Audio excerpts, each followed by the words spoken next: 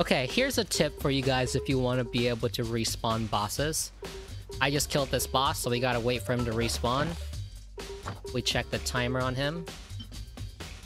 He should be respawned already. So, what we can do here is drop our teapot.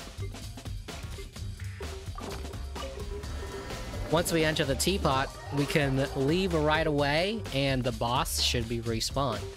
Let's see it in action. But you gotta make sure that you don't teleport out, you go back into your inventory and drop it again. That way you are going to be in the same location where you originally dropped it.